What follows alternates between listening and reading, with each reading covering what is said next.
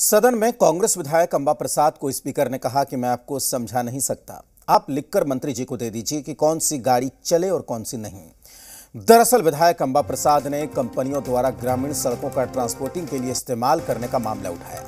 इस पर मंत्री आलमगीर आलम ने जवाब दिया, लेकिन वो संतुष्ट नहीं और पेपर्स लेकर वेल में आकर स्पीकर के सामने खड़ी हो गई।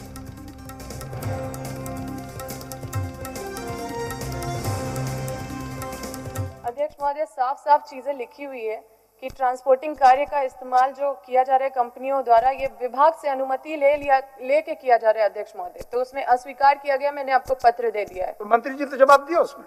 उन्होंने इस तरह का कोई हमें आदेश नहीं आदेश नहीं दिया जाता। इन्होंने जो कंपनी अगल बगल में रहते हैं तो गाँव में ही कंपनी जो है जो है खदान उदान के लिए लेते हैं अपना कंपनी चलाते हैं।